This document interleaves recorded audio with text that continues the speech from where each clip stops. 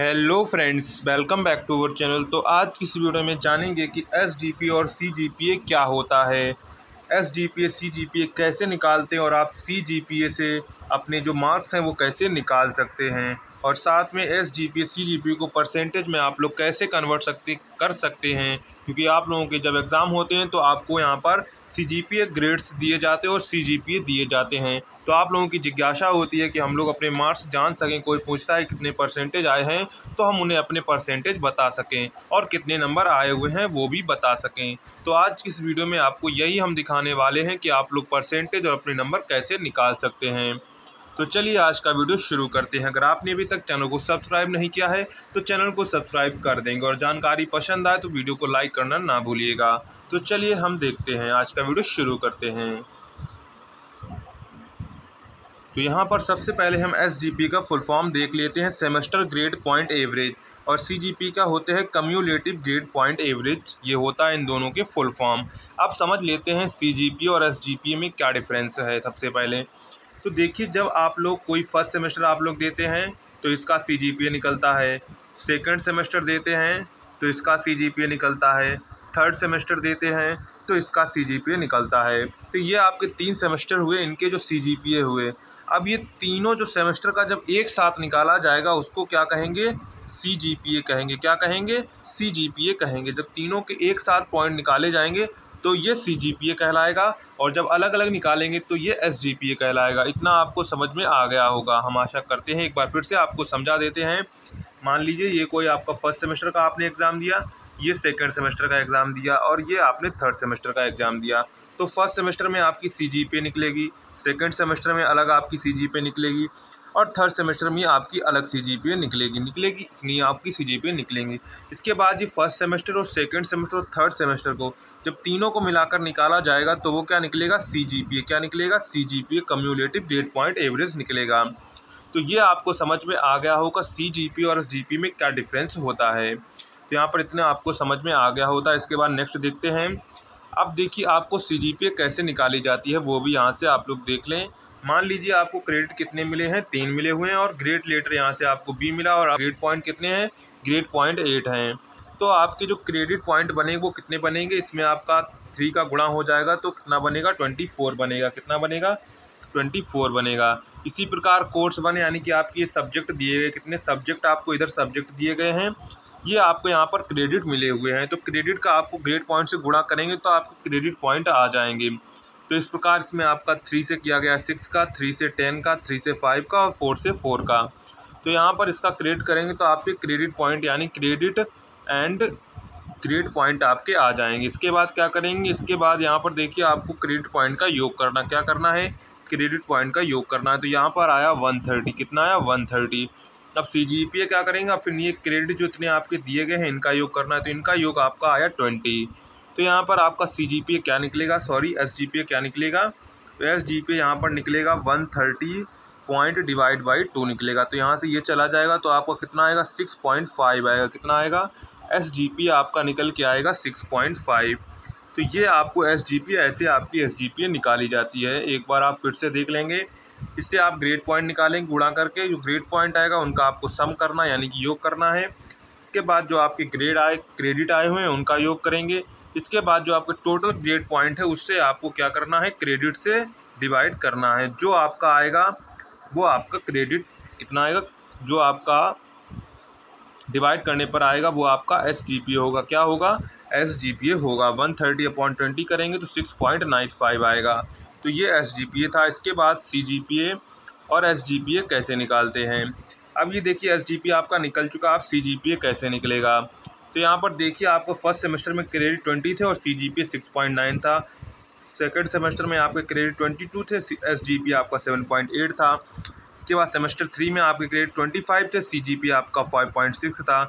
Semester में आपके credit कितने थे? ट्वेंटी सिक्स थे। सी एस जी पी था six point zero. Fifth semester में क्रेडिट ट्वेंटी सिक्स थे, और S G P A six point three, credit twenty five, और एस जी पी एट। तो यहाँ पर देखिए, आपके छः सेमेस्टर को उदाहरण देकर यहाँ पर समझाया गया है। तो अब इससे एस जी पी ए कैसे निकलेगा? तो एस जी पी इससे कैसे निकलेगा? इनके जो क्रेडिट पॉइंट हैं, और जो एस जी पी ए इनका गुणा करेंगे। यहाँ पर देखिए, गुणा किया गया, गुणा किया गया, और उनका योग कर दिया गया है। यहाँ पर गुणा किया गया, यहाँ पर गुणा किया, और इनके बाद, इसके बाद क्या किया? सबके जो क्रेडिट हैं एस डी पी ए को गुणा करेंगे, और उनको सबको जोड़ देंगे। क्या करेंगे? सबको जोड़ देंगे और उससे कितने से डिवाइड करेंगे? वन फोर्टी फोर से डिवाइड करेंगे। किससे करेंगे? वन फोर्टी फोर से डिवाइड करेंगे। और जो वन फोर्टी ये क्या है? ये आपके क्रेडिट पॉइंट हैं। क्या है? ये क्रेडिट आपके क्रेडिट पॉइंट हैं। ये क्रेडिट पॉइंट का ही योग आपका लिखा हुआ है ट्वेंटी टू जब इन्हें जोड़ेंगे तो आपका twenty twenty two twenty five twenty six twenty six और ट्वेंटी फाइव जोड़ेंगे तो आपका आएगा वन फोर्टी फोर ये क्रेडिट से डिवाइड करेंगे। तो ये आपका आ जाएगा six point seven three S G P क्या आएगा? Seven point three C G P आपका आ जाएगा। तो ये देखिए आपको एस जी पी क्या एस जी पी अलग अलग सेमेस्टर में निकलता है और सी जी पी आपका दो तीन सेमेस्टर को मिलाकर निकलता है।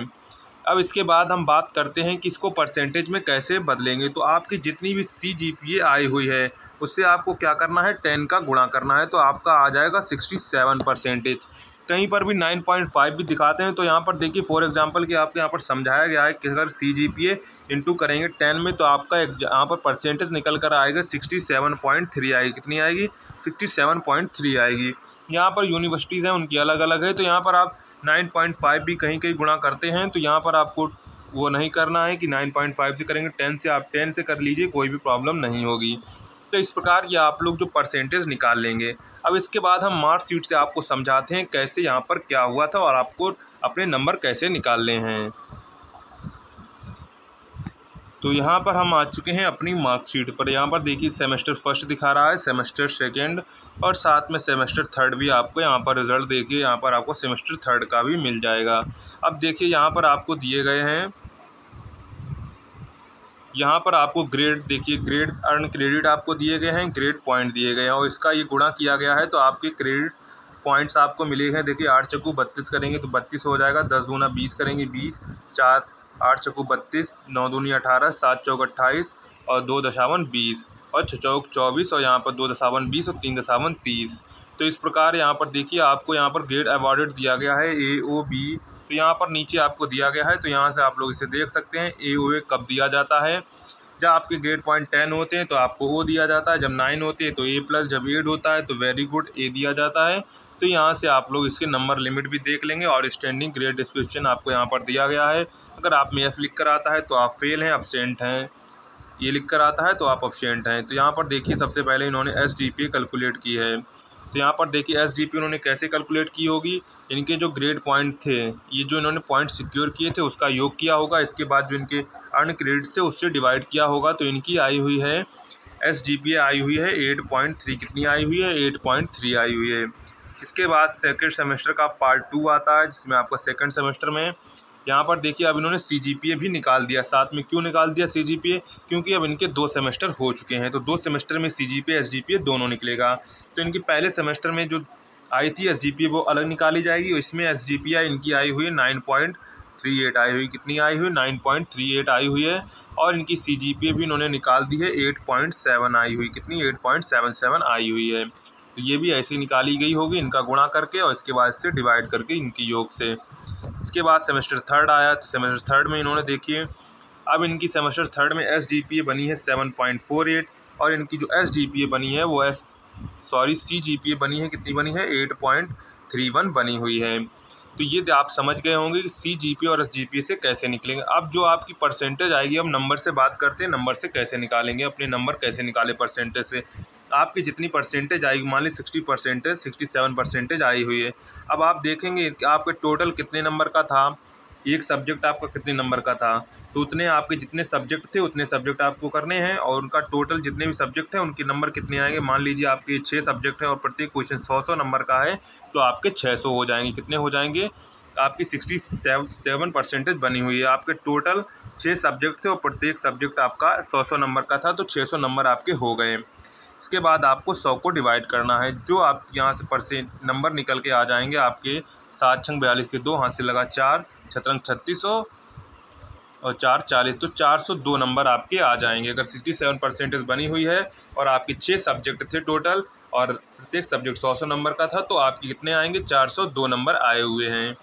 तो इस प्रकार ये आप लोग अपनी परसेंटेज है वो कैलकुलेट कर लेंगे। तो इस प्रकार आप लोग परसेंटेज कैलकुलेट करेंगे। अगर आपको कोई भी प्रॉब्लम आती है नंबर आपको नहीं निकाल पा रहे हैं तो आप लोग कमेंट करके ज़रूर बताइएगा। मिलते हैं नेक्स्ट वीडियो में। कोई भी C G P S G P सबको आपको ऐसे ही निकालना है।